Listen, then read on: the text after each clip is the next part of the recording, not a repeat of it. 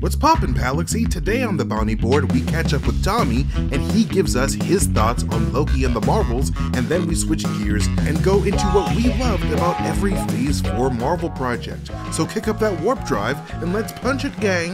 Welcome back to the Guardians of the Palaxy podcast, everybody. What's going on? My name is MT, and I'm here with my wonderful friends, Whitney Van Laningham and Tommy Bechtold. What's going on, gang? Hi, Tommy's back, bitch. Tommy's back. Let's go. The birthday boy has returned. We missed, missed you you. guys. Oh my uh, gosh. I- How was your trip? How was everything?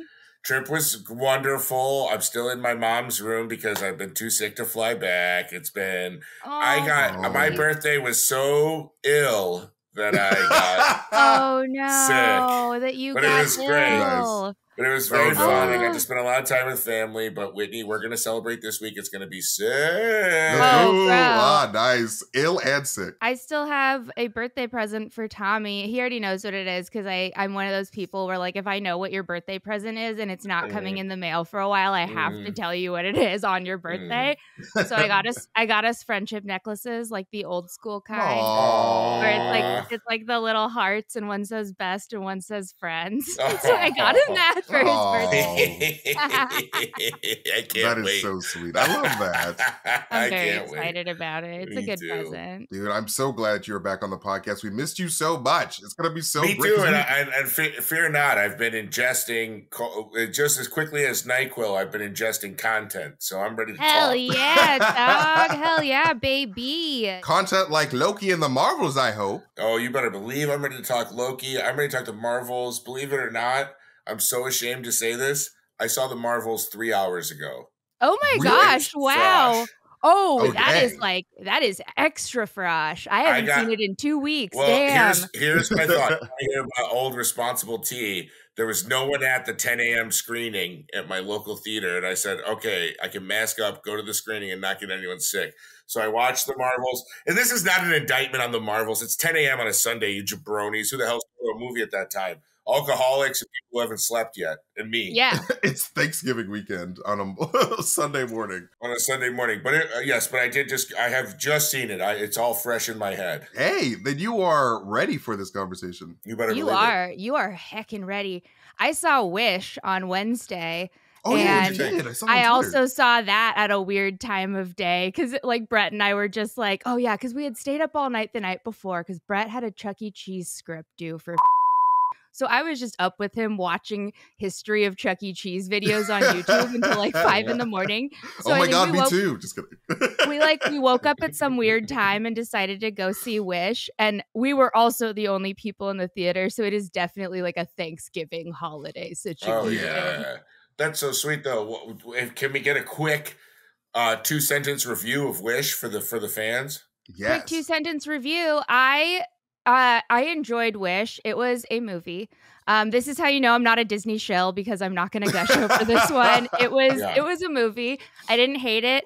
I thought it was really disjointed and the pacing was super weird and I could not Mm. like I, it was just like very bizarre pacing for for me. Um but the characters were all great. Chris Pine was amazing and it's a really cool lore world. I it just felt like Shrek without any uh without any dick jokes to me. Mm. And Ooh, that what's the you know, point? It felt like it felt like Nimona without the pacing because the villain was like pretty much the same as the villain in Nimona. So it was Mm. Nimona without the good pacing, and then it was Shrek without the dick jokes. And I was just like, Mm. eh, but there's two movies out there that do this better. I don't think I need to watch this movie again. It was fine. it wasn't horrible. Whitney, you just passed the Bechtold test. The Bechtold test is when uh, someone asks me to give a two sentence review, and I give them a two hundred sentence review. Yeah, the Bechdel test. Okay, I'm so sorry. No, that's why we're best friends, Whitney. I Because know I, knew, really I. I knew, I knew putting those ramifications on you was unfair and unnecessary. but I want to talk. I want to first Talk I want to talk about the Marvels. I'm sorry I went off. Let's talk Marvels, but okay. So, what, what do you guys want to talk about first, Loki or Marvels? Because I probably have more to say about Marvels. Loki has been talked to death, but I do, you know, I I I, I feel like uh, for me, my opinion in Loki, uh, it, it- the finale uh, stuck the landing hard. The it's a great, great, great two set. I don't think we need a third season of it at all. I think God of Stories uh, is perfect. Uh, the way he used, the way he finally became a god again and used his powers and wove together his own time loom, his own personal tree, tree of life, Xandril or whatever it's called. Yggdrasil. Uh, I love that. Justice for Renslayer. Why are we still here? Come on, that was a cop out. yeah, ju- ju- justice for justice for you know I'm you know I'm Gaga for Gugu, so I'm obviously gonna be pissed it's true. about. She's such a great actress. She's so great, and I hate that that was. I, I, I get it, but I, I, I think there's I, I guess there's more to be gleaned from what happened, and perhaps her character is more of an open uh, ended thing, and maybe maybe perhaps the only character besides he who remains who has legs beyond the Loki show. I don't know. I don't know. I hope not. Uh, but I thought it was wonderful. I thought it mm-hmm. was. Uh, I thought it was a great second season. Um, I thought the way it, it, tied up was was great.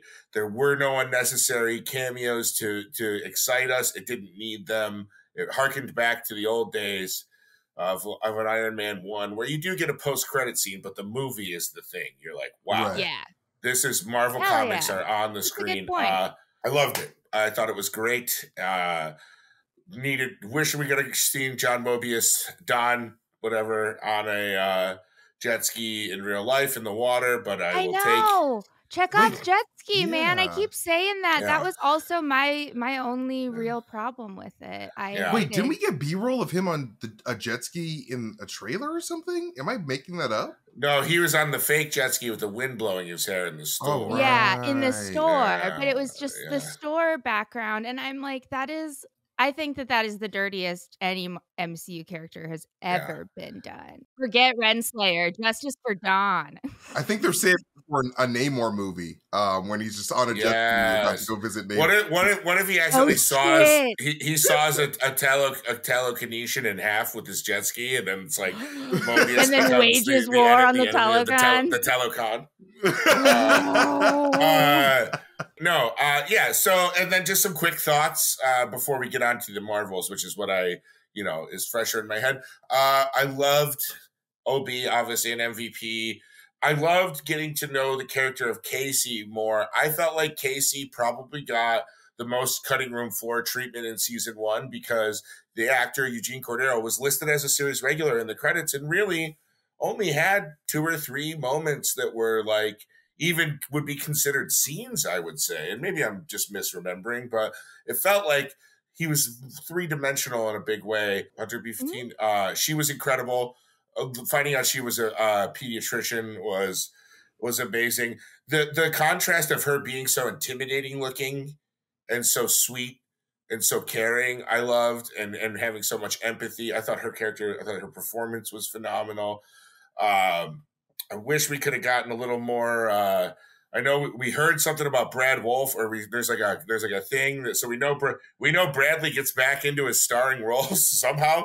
Somehow that character All gets right. gets his for happily forever after. But get it, bro. If anyone's gonna spare a complicated man, it's gonna be Loki, right? If anyone like if any if anyone if if anyone's gonna be allowed to crush their surrogate mother uh, in a cube and then uh, and then get to go back and be Bradley Wolfe. It's going to be uh, Loki's going to be the one that oversees that. So, so yeah, hmm. uh, overall, uh, it, it's definitely an A for me series, an A top tier Marvel uh, series. I think that goes without saying.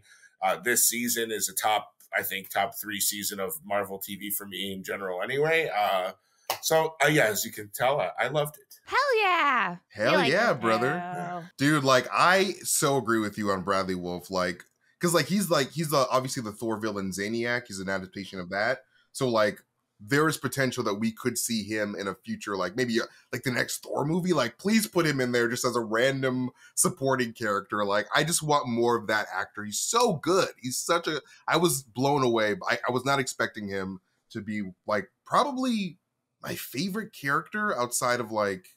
I think he's my favorite character in Loki. Like honestly, cool. like he's just Damn. so good. Um, yeah. But yeah, no, no, no. Thank you, mm. Tommy. Like those are that's very insightful thoughts on Loki. What do you think about the Marvels, man? The yeah. Marvels, baby. Well, let's just say the best way to see a Marvel movie is three weeks after its release, after every single person on Earth has waited needless to say, my expectations for the Marvels, despite all of the backlash or the hype it was was very tempered right? Like i'm going in to see a movie that i a have seen there was so much uh, trailer content for. All of the post-credit scenes have been spoiled for me so i was like eh none of that was surprising. That being said uh, um, iman vellani needs to be carrying this franchise. She needs Hell to be yeah, one of the pillars. Absolutely.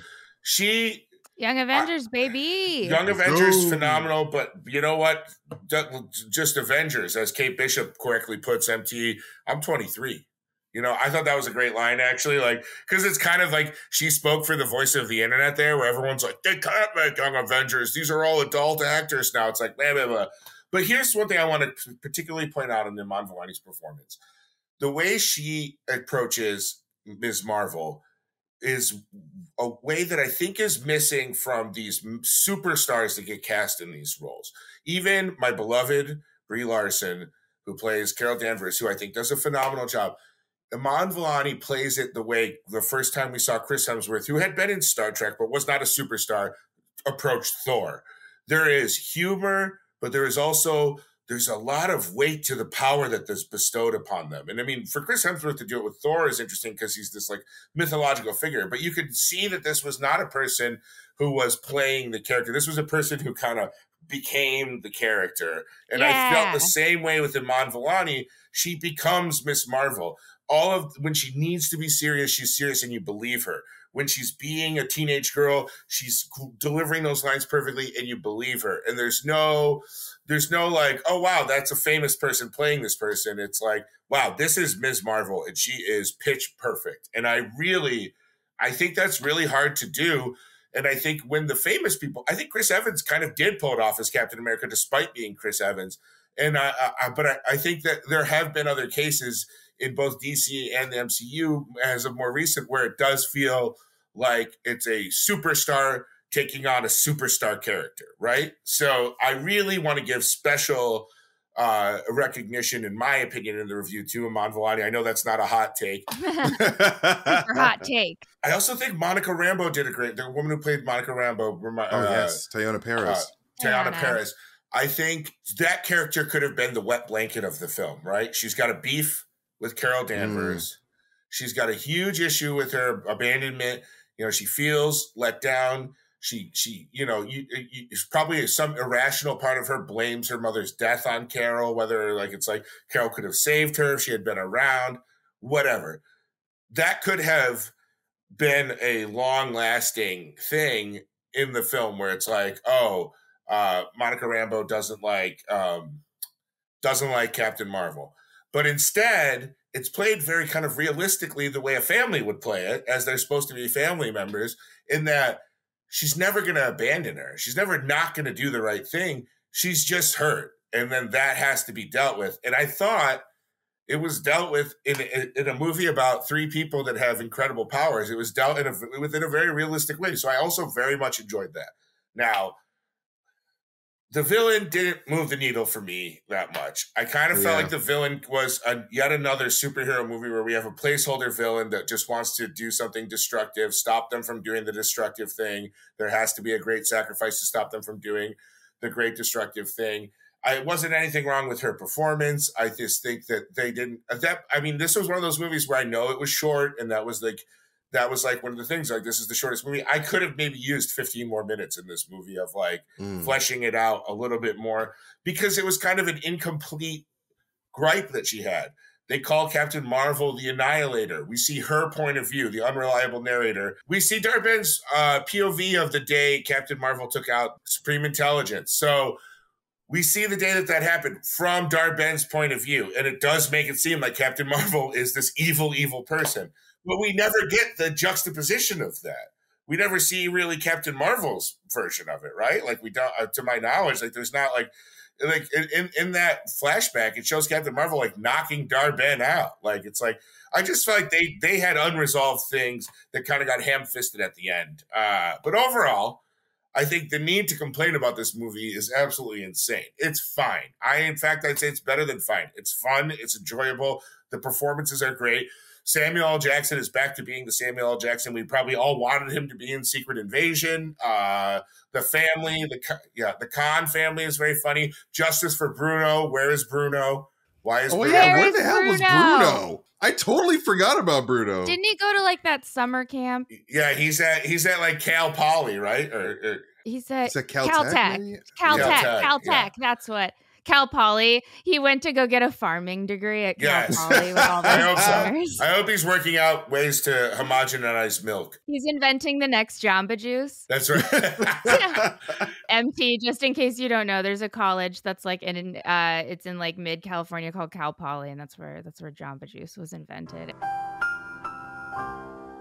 Your Zoey 101 land type stuff. I see. Yes, and it's primarily like a farming and agriculture school. Yeah. So you, it's like it's very Oh. bizarre. So it's literally all of the hippie burnouts from your high school, but it's still like a really good school. It is. So it's like- school. It's like the smart stoners go there. I heard uh, Old McDonald graduated from there. Um, he sure did. E E-I-E-I-O. So did Ronald McDonald. The whole McDonald family are alumni. Actually, they donate to the fund each year. I like it. Michael McDonald too.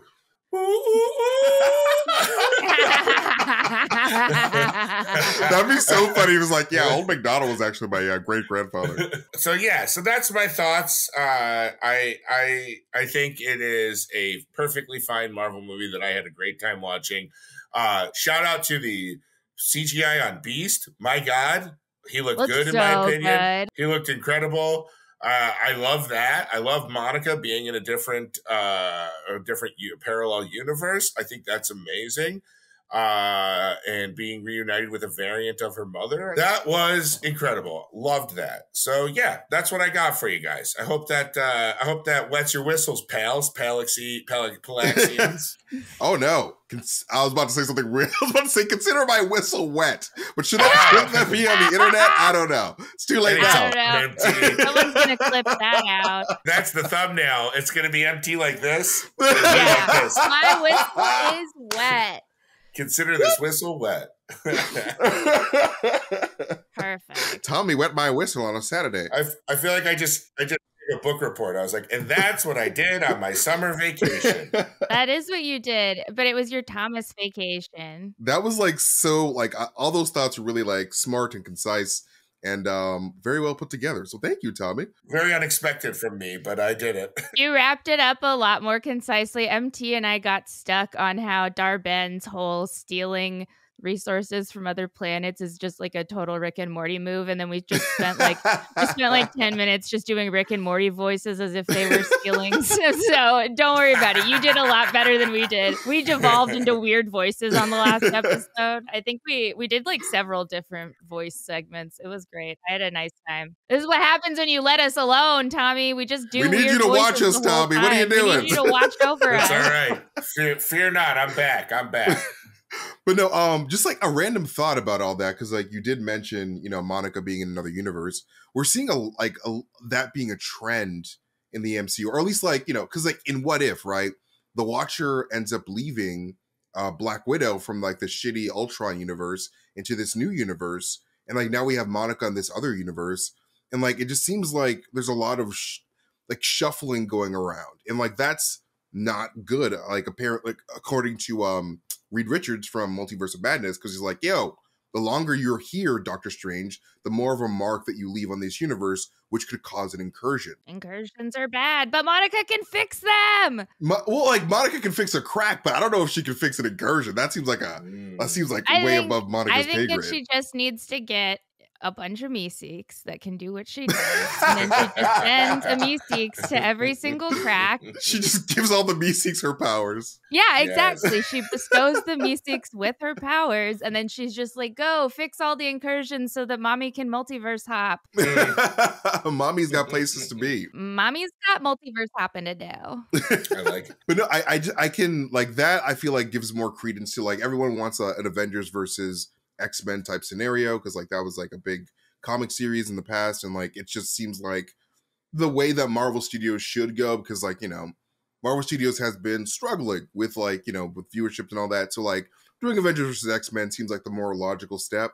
Um, but like even if that doesn't happen, there's a big chance that like you know these two universes do collide and like we do have a um uh incursion type scenario because Monica is there because Monica should not be there and like there's something about you being in the wrong universe that causes um universes to kiss Mwah. Aw. and uh Kiss and start to merge. explode. it's gonna explode big explosion so i would love to see the avengers versus x-men fight to destroy each other's planets Hugh Jackman's Logan would kill Tom Holland's Spider Man. oh yes He does not stand a gosh dang chance. I know that no one knows he's Spider Man, so he's like a little bit safe. But like, I'm sorry. After watching Logan, and then after watching the no the the Home trilogy, as we as we call it here in the Palaxy, I just made that up. Uh, We call it The that. No, now. Home trilogy. Uh, we, do- we do. That's home- what it's called.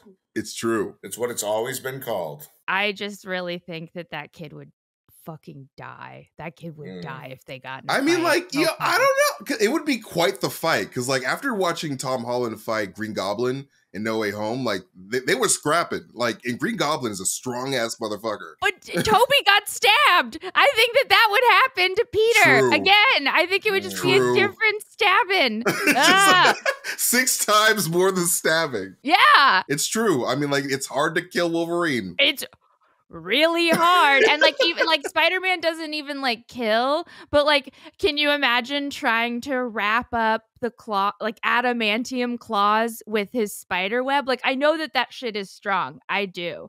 But the adamantium i don't know i don't know if if we're doing if we're doing like a rock paper scissors thing it's definitely like adamantium spider web you know like i Yeah. feel like one Yeah. I feel like one could cut the other, or maybe one could cover the other. I don't know. Let me know in the comments who'd win, Tom Oh, no, Holland, it's Spider Man, or or adamantium, adamantium, or one flippy boy. one flippy floppy boy Flippy boy, flippy boy. now i think it's time for our fake ads gang what do you want to do some oh, fake Oh. Ads Yeah, fake yeah. ads, fake ads. All where's the dice Just- give us the d20 Do or dice, baby. do it do it Okay, got the guy. Let's roll the die. i'm gonna do a quick ad for starbucks here Yeah, hell um, yeah. the iced chai latte this center of my life I rolled an eight, which is street smart. yeah. okay And then,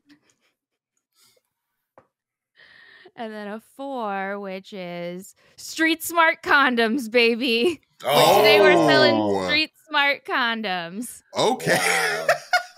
All right, I think that uh, I think because Tommy's first day back in a while, we let Tommy take it away from the top. We want to thank our sponsors over at Wanks. Wanks Prophylactics. Are you sick of all those bookish, Aristotle, Socrates level prophylactics in your life? Well, go to Wanks. These are the condoms for the streets. for the streets, from the streets. Anonymous. But safe. Anonymous, but safe. Anonymous but safe. Dangerous encounters in a safe way. You're not going to learn this in your Ivy League. You're going to learn this in your spy, Spidey creeks on the streets. They don't teach you about street smart condoms at Harvard. No. You learn about them from your older cousin Mike, who told you about them one time. exactly That's, that's street smart condoms. word of mouth. Like Word we of shouldn't mouth even be doing it ads, honestly. But like they just told us we it's are okay. because we're doing word of mouth. This is It's word true. of mouth. This is street smart as hell. We're street smart. We're not book smart. We're not life smart. We're street smart condom. There's no promo code for wanks. You just find someone on the street that looks like they're down. And you say, You got wanks? And if they do, they'll give them to you. Still tell them the Palaxy sent you because we want the referral fee. Yeah, So- we want them. Yeah. Every time every time you tell a guy on the street that you need to borrow a Winx condom, one of us gets our angel wings. That's, what right. this True. ad promises. So so use wanks. Quit reading books and start giving looks. Wank. Wank off Wank. today, everyone. Wank, thanks.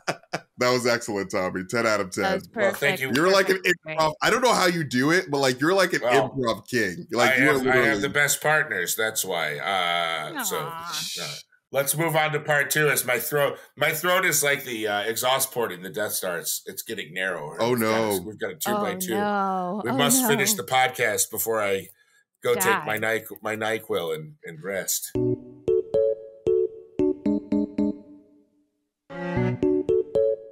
But yeah, guys, to continue this video, I thought it'd be fun if we just went through like all of phase four and just talked about like what we were like what we liked about phase four about those projects, just to like put a positive spin on like a lot of the negativity that we're seeing on the internet because like it's easy to be negative, but like there were a re- there were really a lot of great stuff about um all the projects that we got because we got a lot of projects.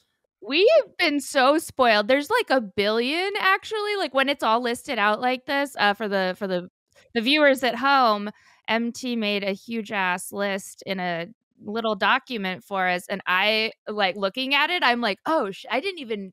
Holy shit, that's a lot of stuff that has come out. Like that you, I like you just don't think about it until you like visually see it, and you're like, oh dear God, that is a lot of. Right. We were like before like we were getting like two movies a year and now we're getting like a zillion projects a minute and like it's I, I feel like we're, we're not gonna be living in such like a a, a beautifully beautifully lit MCU time like this again because like I feel like Bob Iger's gonna like slow down production on this stuff and like er, this is like a golden age for me. But anyway, let's run down this list and like just talk about real quick about the things that we liked, starting with WandaVision. Whitney, I know Mm. Whitney likes WandaVision. What were your favorite parts about WandaVision, Whitney? it's my whole life. I had uh uh the qu- I had a quote from WandaVision in my fucking vows at my wedding.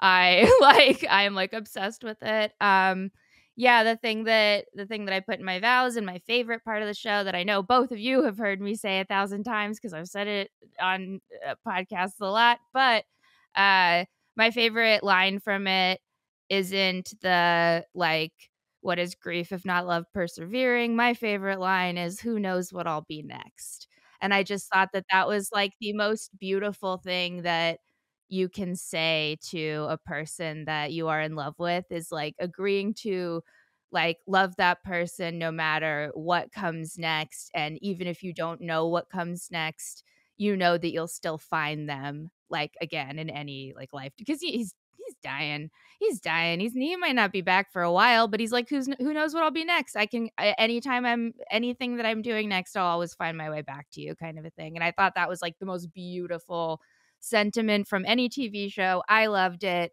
I thought it was great and funny and fun. All the depression uh, antidepressant commercials really got me. Dude wandavision was like the first fake ads if you think about it. That's WandaVision- true. First fake ads of the MCU. Yeah dude wandavision did it first I love all that. What What are you, Tommy? What What do you like about WandaVision? Me, you know, it's all about my girl Kathryn Hahn and Agatha. I love the character of Agnes revealed to be Agatha, and I loved those few weeks where we were wondering what the hell was going on with Ralph Bohner before we knew it was Ralph Bohner.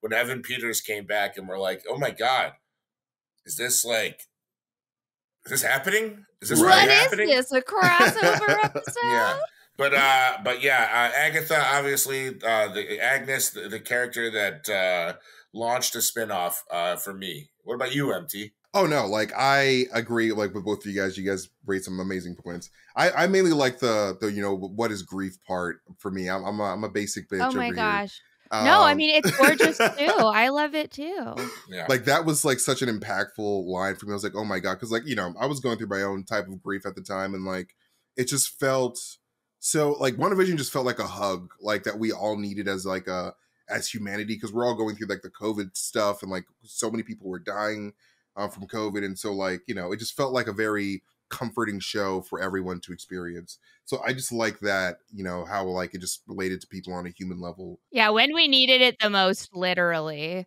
it was Right. like the time that all of us needed it most Yeah, for sure. Like my favorite Marvel projects are when are the ones that connect with people like on an emotional level, which is why like, you know, the Guardians movies are incredible and like I feel like WandaVision had that very same um type of thing. Um Yeah. but anyway, moving on.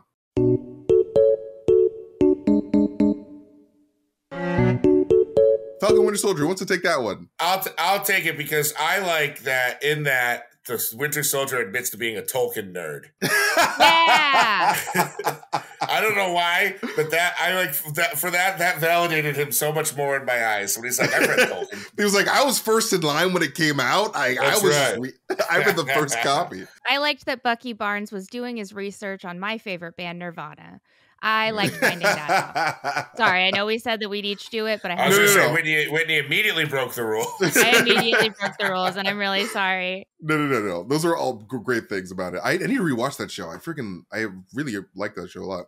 Um, Loki, of course, Loki season one, but like, I guess we could talk about both because like we're just talking about Loki. I mean, like, just briefly, just like obviously, like the time travel element, like getting to see the TVA. I, I have been a huge TVA stan since before people knew what the TVA was. Like, I freaking love the TVA. OG TVA. but no, the way it was handled, it's just like it was just so cool to just see how like the like that there was structure to the MCU multiverse and, and the timeline in general. So like Loki, top tier MCU series for me. Um, but yeah, Black Widow. I know this was a controversial one for a lot of people. David Harbour was incredible. Uh, David Harbour and and uh, uh, what's her name? Rachel Weisz. Uh, love them both. Yeah. Still think still think Rachel Weisz deserved a little more development, but I love them both. That movie also opened with a Nirvana song, and I really liked that. Yeah. Any Nirvana inclusion gets an A plus Listen, for it's, Widow. been- it's been my favorite band since I was four years old, no lie. And uh, yeah, sorry. I'm, love it. That's not surprising. I love that about you. Yo, what if, bro? I could talk about what if for fucking days. It's probably one of my like top three new Marvel TV shows. Like this, like the the sheer scope for what they can do, and like the like the the stuff that they did in season one. I just like that. It's just like all these MCU actors coming back to have fun with like random scenarios that like we could not possibly see in live action because of the restraints of like you know budget and all that stuff and like you can't really do experimental stuff like this um when contracts are involved. Um but yeah like i just think that what if is like i hope they never stop doing it. Like i just think that there's so much potential for that series It seriously has the possibility to be infinite. Like, fucking sign me up, dog. Sign me up for 90 mm. seasons. As long as the quality doesn't slip. Yes, as long as the it's, quality does not as long as they they put a lot of energy and effort and they pay people fairly to do it. I'm in. I'm Yes, in the for whatever animators- you want to see. need all the what time in the novel idea. What a novel idea. switching it up Oh my god, I can't believe that I'm the first person to invent that. Crazy. Right? Fair pay? What? write that down Write that down. Write that down, write that down! i do want to see a, a crossover between the spider-verse and what if I'm um down the line Ah, because yes. I feel like that's oh my inevitable. god. Oh my god. I did not even think about that. Holy shit. Yes. Yes. Yes. shang-chi and the legend of the ten rings Oh, baby, that movie is my jam. I think that I've I rewatched Shang-Chi probably the most out of any of the recent Marvel movies. I put that on in the background for like when I'm doing dishes and stuff cuz I don't I just love it. I think it's so funny and I I really like the big dragon boy at the end. Mm. Yes boy. I really, I really, I, I really dig the how Shang Chi was like a, a a secret multiverse movie, but like they didn't tell anybody because Ta Lo is in another universe, and her, his aunt says that, so like it's basically a multiverse movie. Uh, but yeah, no, I really liked all the dragon stuff. I want to see more dragon stuff in the future. I wonder what that post credit scene is going to be like. So, I I want more Shang Chi. And Shang-Chi has my favorite Marvel bus crash scene out of all the Marvel bus crashes. we get we get a Marvel bus crash at least like eight times a phase. Like I It's think that they have like a quota that they have to do. They have to fill the bus crash quota. And in my opinion, no one does it better than Shang-Chi. So Oh yeah, that was a good one. it's not a Marvel movie without a bus crash. But no, Eternals. That this one has been like, you know, obviously a lot of people had their own opinions about Eternals. I love Eternals a lot personally, but like, does anybody else have uh, opinions on Eternals? Well, I think it was uh, America, the American mainstream cinema's introduction to Ultimate Weird Boy, Hunk, Barry Keoghan. Uh, yeah. Because like he had been in like Green Knight and a couple of other things that were like always playing a big old weirdo or cute little weirdo, however you want to describe him. But like it's like, oh man, there's something about that guy. He's weird and engaging. And then boom, Eternals. He comes in and we're like, oh right, that's why he's he's good. He's good. He's brooding. He's angry. He's also a little bit mischievous. I don't know why I'm feeling these feelings for him. What does this mean? uh, so Plus, uh, honestly, yeah. after after the Marvels, I really think we need a Kingo and uh Captain Marvel Bollywood movie together. I think Absolutely. that would be tight as hell. But no, I really like like the the, the overall symbolic um, nature of Eternals a lot. Like the deeper meanings behind like um just compassion and love for like in like the the goodness for the human race. I feel like that's Like I like how it was a celebration of all that. Um, but Hawkeye, oh my goodness, the greatest TV show ever made. Yeah. MT, take it away. buddy. Listen, it came out on Christmas. It was a Christmas show. There was a dog. There was Hailee Steinfeld. There was Hailee Steinfeld, and there was Hailee Steinfeld. It was just so incredible. Like it was just funny, and like the Matt Fraction run of Hawkeye was, is like my favorite um piece of Marvel media in like such a long time, like in forever. And so like seeing that adapted like fairly well with like I didn't like personally, I didn't think that um Jeremy Renner could pull it off because I was like, oh, this he's a different Hawkeye than what we get in the comics, but like he did it, and like I love his dynamic with um with Kate Bishop, and um it's just top tier Marvel show, ten out of ten. I want a season two, um, and she needs to be in charge of the Young Avengers. I agree. I'm with you. Hell yeah. Spider Man No Way Home. I know it's a little uh little, little uh, uh what do you call it indie film. Uh, no yeah, one really saw it. indie film that hardly anybody has ever heard of. Um, e- Spider-Man, ever heard of him? I'm gonna. I'm, I'm. I mean, we've probably talked this movie to death. I'm gonna bring up one thing that I like. I like any vehicle that allows Happy Hogan to emote and and go through various ranges of emotions. I think Happy Hogan is one of those tertiary Marvel characters that like doesn't really ever get their due. You know, they're kind of always like they're rock solid. They're a friend. They're usually used in movies as uh, someone to kill off when the stakes are need to be heightened to a to a ten out of ten. Uh, I liked watching. I liked watching him grieve Aunt May. No, I liked that we got to see him. I liked that we got to see him as the as the full man. Uh, we got to see him as the the security guard, also the lovesick puppy, the kind of rejected puppy, and then the heartbroken adult who lost uh, someone that he really cared about and was worried about. You know. Uh, so yeah, I, I, I, I, my, if we're bringing up things that we super duper loved, Happy Hogan in that movie for me. I would just like to bring up that I want Andrew Garfield to hold me sweetly. That's what I liked about it. I got to Mhm. imagine Andrew Garfield holding me sweetly. I agree. no, but like just a quick thing. I really like how like uh Kevin Feige redeemed Electro. Like that was a big thing for Mhm. me. Oh, yes. yeah. Like oh my Foxx. god, same. Oh my god, same. Dude, Jamie Foxx. I think Jamie Foxx was like one of my favorite parts of that movie. He was Exactly. so Like he got a little a little done dirty in Amazing Spider-Man 2. So like Yeah. being his redemption was like 10 out of 10 for me. But Moon Knight, moving moving on to the moon. I loved Yes. I loved getting Moon by uh Oscar Isaac. It was it was a great period of my life Oh, getting yeah. mooned by that man. He can moon me anytime. Oscar Isaac is just so incredible. I still, uh, the thing that I quote constantly is, "I can't tell my waking life from dreams." And it's just his stu- like his stupid deliveries were so good. Yeah. In my opinion, I just loved him, and I loved the hippo. I loved hippo lady, Oh yeah. hot, hot hippos. I love. I Taweret, oh my her. god, she was like she's such a sweetheart and like I want more of her. She's just so adorable. I want her in everything. Mhm. Let her leave the duat and fight alongside the world's mightiest heroes. I agree. But no, like the show's overall handling of, of course, like DID and like you know Egyptian mythology was like so great, and I cannot wait for for more from season two when they finally introduce Bushman. Bushman's like a psycho. Like Bushman is truly this man's Joker, and like once they, I I, I cannot wait to see who they cast as that. I really want them to cast Wayne Brady, but hey, that's just me. Uh, because Wayne Brady is such a good improv actor, and I feel like he do a great job. oh, he's amazing. Let us move on over to Doctor Strange and the Multiverse of Madness. Doctor Strange Oh. 2. Doctor Strange and the mom. The- and the mommy. Mommy Dommy. Dommy She Mommy. was, she was a mommy for sure. For sure. That was so good. The horror aspects. I mean, Sam Raimi just nails it every goddamn time. I I mean the I loved you and like I've loved you in every universe is just like the most heartbreaking. Like that is the ultimate breakup. That is the ultimate breakup is finding out that she is gonna dump your ass no matter what because you guys That's- are twin. you twin fumble in every universe. Yeah, you fumble. You fumble a bad bitch in every universe. Like that is so. That's what that means. That's what he should have done. That's what he should. He should have held her face and gone.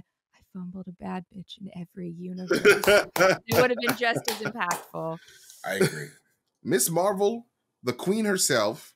Um, I really enjoyed this show. I think I think I think you're right. The coronation of Iman Vellani as the Queen of Marvel. Like it was like having a mini Spider-Man, like Spider-Man, uh, what do you call it, Homecoming, but like a TV show of that. Like it just felt very like I, I like seeing like the the younger like heroes of the MCU just be kids and try to balance their their superhero and work and um in normal life. Like I feel like that's what we need more of the MCU.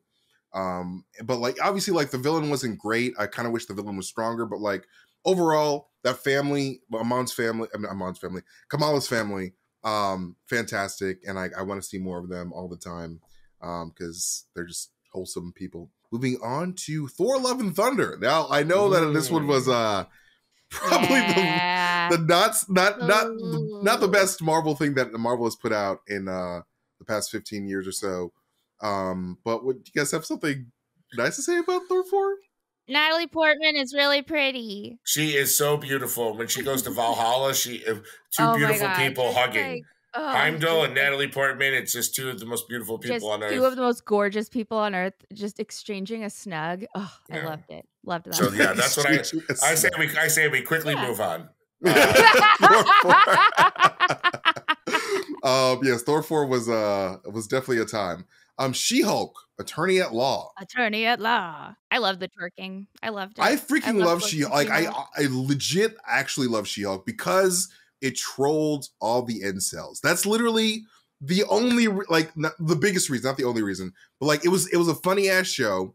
It was like a really just I just it's a parody of the MCU essentially, and it was just trolled all the incels on on Reddit, and by literally producing a Reddit clone and having that be a focal point of the series. Werewolf by Night, blood galore, blood and, and wolves and, and gore galore. Yeah, I like Yes. the gore. Uh, Elsa Elsa Bloodstone, she was great. Liked her in that other um, that uh, HBO show, the Nevers or the Never. Oh, is she in there? Yeah, something like that. the okay. Nevers. I've never heard The of that. The Nevers. I don't know. I don't know. is is that about Peter Pan? The No. Never Neverland.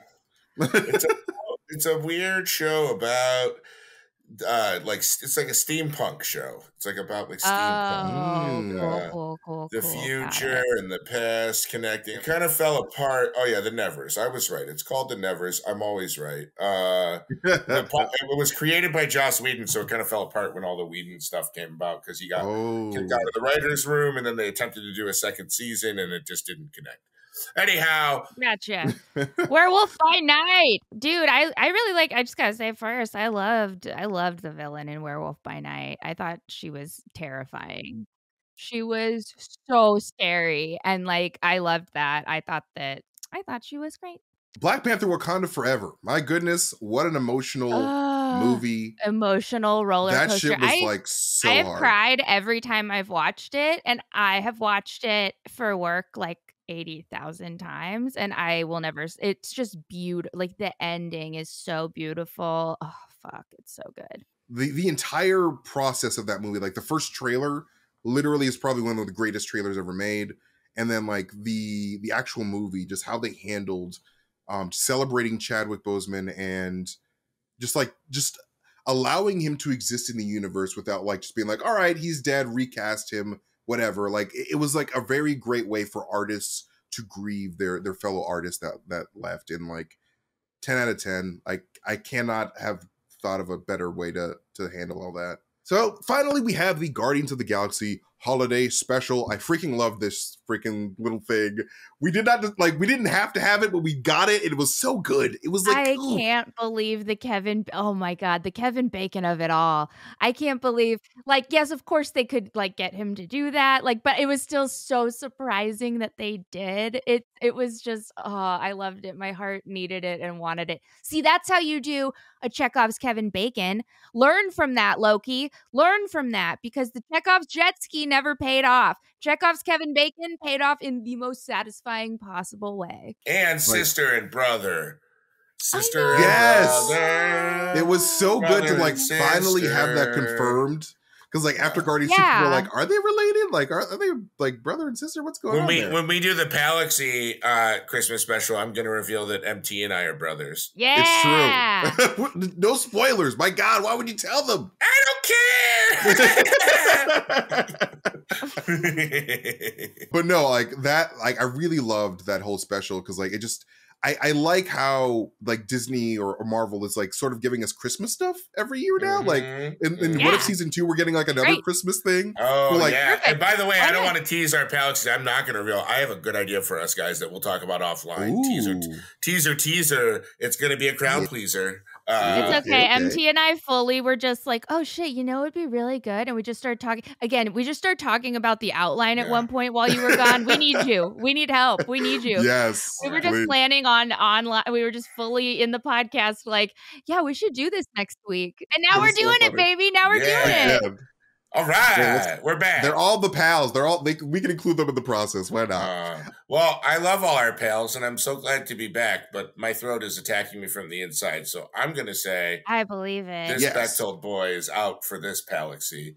I love you all so much. Dude, we love you and we love our pals. Yes. Thank you guys all for watching us like talk about all of our favorite parts of phase four, talk about our thoughts about Loki and the Marvels. You guys are wonderful. You can follow me at Mastertainment on Twitter if you guys want to see me post some weird shit. You can follow Whitney at Whitney Puppy on Twitter and at Whitney Vision on YouTube. Like Whitney Vision is putting out some really great stuff. You can follow Tommy Bechtold at Tommy Bechtold on Twitter.